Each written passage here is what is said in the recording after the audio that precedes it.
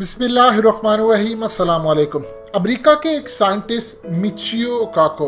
अब इनको देखते हैं तो आपको ऐसा लगता है कि ये कोई जापानीज़ हैं या चाइनीज़ हैं। ये असल में एक अमेरिकन फिजिस्ट है, अमेरिकन साइंटिस्ट हैं। और ये जापानीज़ अमेरिकन पेरेंट्स के घर पैदा हुए और इन्होंने जो दुनिया के अंदर साइंस की फ़ील्ड में कारनामे अंजाम दिए, आपको अक्सर हिस्ट्री चैनल्स आपको अक्सर नेशनल जोग्राफिक चैनल्स पर नज़र आते हैं। कुछ अर्सा पहले ये एक प्रोग्राम में आए थे सीबीएस चैनल पर। और वहाँ पर आकर उन्होंने बड़ी ज़बरदस्त गुफ्तगु की।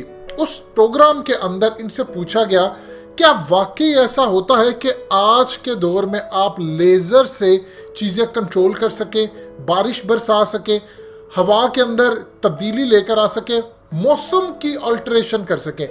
मजीद डिस्कस करने से पहले इस वीडियो को लाइक करें, हकीकत टीवी को सब्सक्राइब करें और बेल आइकन पर ज़रूर क्लिक करें।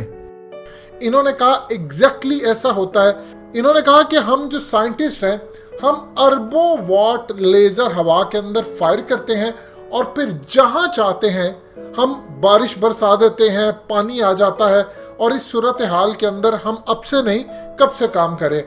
जब ये वो बात करते हैं तो फिर वहाँ की जो होस्ट होती है, वो साथ ये पूछती है कि यस हमने बिल्कुल देखा। ओलंपिक्स के अंदर भी ऐसा हुआ यूएसएसआर ने भी ऐसा किया। लेकिन आप इस बारे में क्या कहते हैं? क्या फ्यूचर इस सब का? उन्होंने कहा, आप इन चीज़ों को जोड़ दें। इवन के सिक्सटीज के अंदर अमेरिका ने वियतनाम जंग के अंदर ये टेक्नोलॉजी इस्तेमाल की और अपने दुश्मनों पर इसका इस्तेमाल किया और वहाँ पर बारिश बरसाई। जैसे वो ये बात कहते हैं, उसी वक्त होस्ट प्रोग्राम की कहती है, फौरी तौर पर वर्ड यूज़ करती है एलएच यानी मुबैना तौर पर ही होगा। उसके बाद वो आगे चलकर कहते हैं, फिर यही वर्ड यूज़ करते हैं कि मुबैना तौर पर यह काम होता रहा, और फिर वो आगे कहते हैं कि आज के दौर के अंदर सैलाब लाना, बारिश कहीं भी लाना, ये तमाम इस टेक्नोलॉजी की मदद से किया जा सकता है। क्लियरली उन्होंने बताया कि हाँ टेक्नोलॉजी का इस्तेमाल क्या है। अब आप ये देखिए, पाकिस्तान के अंदर इस वक्त सूरत हाल क्या है। पाकिस्तान में इस वक्त सूरत हाल ये है कि अचानक से बारिशें आई हैं और बड़ी अजीबो गरीब तरीके की बारिशें। आपने पूरा कराची देखा, डूब गया।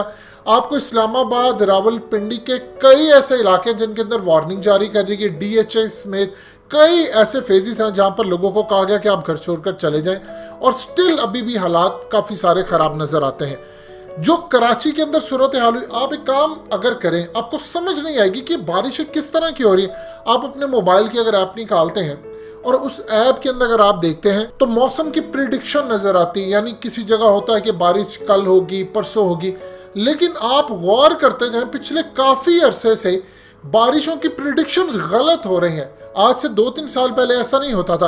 अब अमेरिका में अगर देखेंगे तो जो बारिश की प्रिडिक्शन होती है ऑलमोस्ट वही होती है।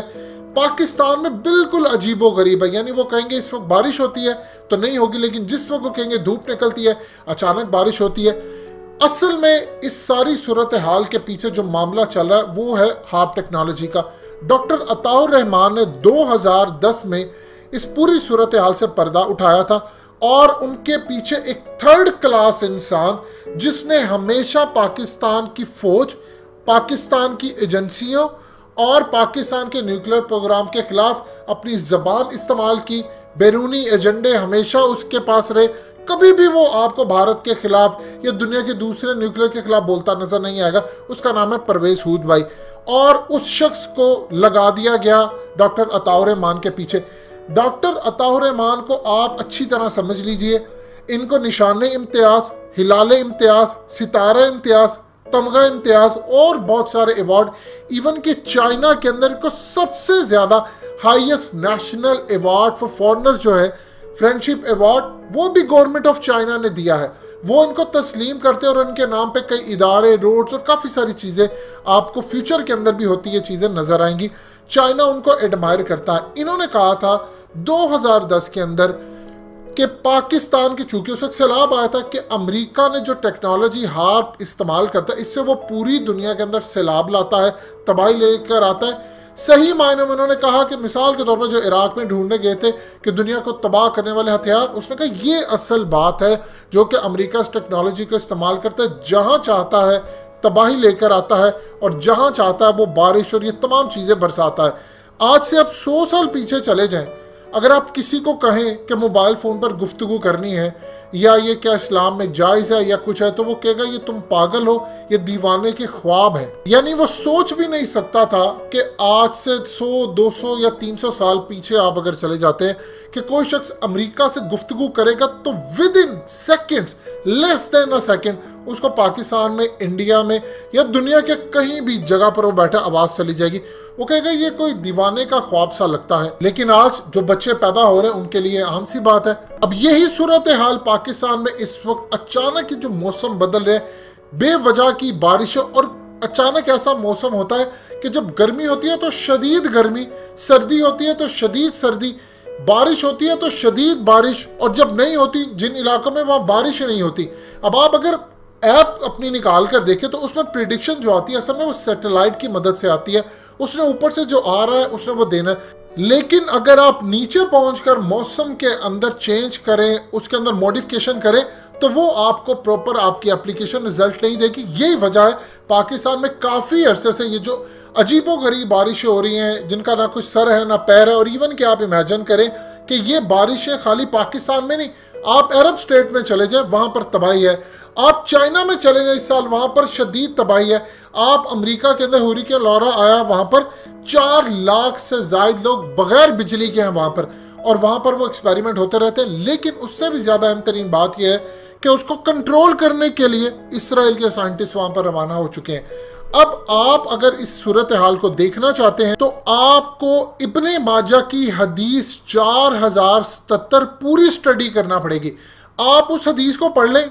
आपको बिल्कुल एग्जैक्टली लगेगा, जैसे आपने पूरी किताब पढ़ ली, आपको पता चल जाएगा। उसमें बताया गया कि किस तरह दज्जाल जहाँ चाहेगा, बारिश बरसाएगा, जहाँ चाहेगा वो कहत नाजिल करेगा, खजाने निकाल देगा। जहाँ से वो चाहेगा, खजाने उसके पीछे चल दिए जाएँगे।